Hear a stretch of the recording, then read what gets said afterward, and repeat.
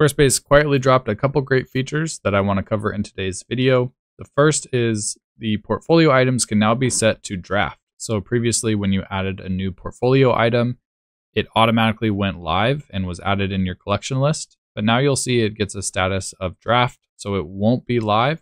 You have to go in and once you're done designing your portfolio item page, you can then set it to published and then hit save and then your project will be live to your site visitors.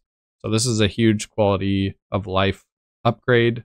I had some code. I had a whole blog post about how to do this with code before because there wasn't a way to do it built in. Now we get to do it built in. Awesome upgrade there. Next, um, Squarespace has added a Bluesky logo. Before they didn't have that icon, so they've now added it to their icon set. So just nice little improvement there. And then lastly, the mobile header can now be resized. So we didn't have any, you know, ability to resize the header before, but now we get a little handle where we can resize it. Or if we go to edit design and scroll down, we now get this height adjustment. So we had a height adjustment for desktop, but not for mobile before. Now we have a little bit more flexibility there.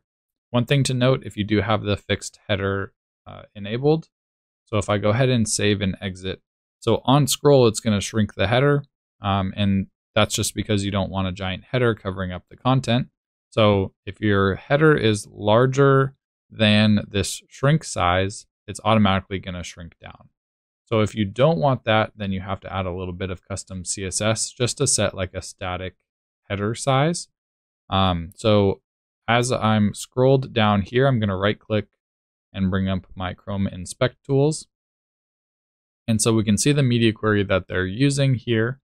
And basically when the header has the shrink class, so basically when you're scrolled down the page, then the header shrinks and this is the padding on the top and the bottom. And it's gonna take uh, whichever is smaller, 5.6% of the width of the viewport or 2% of the taller of the height of the screen or the width of the screen. So um, that doesn't really matter. I was just explaining those media queries. What I'm going to do is copy this media query into my custom CSS window, and then we can just set like a static size for the header. Um, and we can do this in pixels. That way it doesn't change. So let's do like a padding top and bottom of 20 pixels. And then I'm going to change this to just target the header. So now um, the header doesn't do that little shrink thing because it kind of like moves the content as you shrink down.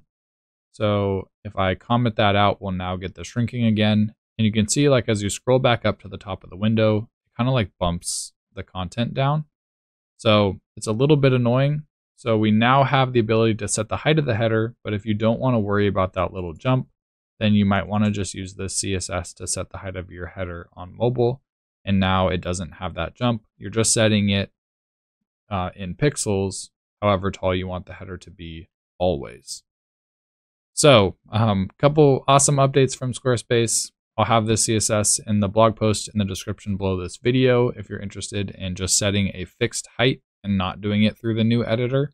But you do have that new editor option if you want to do it that way now. Um, a couple things that I want to touch on now that I've kind of finished the updates for portfolio collections just looking ahead at some features that I would love to see added to the portfolio collection. Right now, you can't add categories or tags like you can on blog posts. I would love to see that feature added for portfolio items. And also, there's a 60 item limit. So it's pretty limiting if you are designing a site for a larger business or you yourself are a larger business.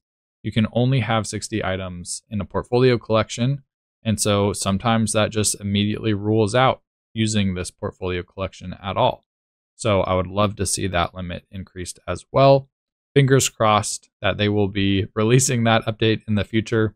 And if they do, you can be sure to find out about it on my channel. So consider subscribing if you're interested in receiving Squarespace update news like this. And hopefully I'll see you in the next one.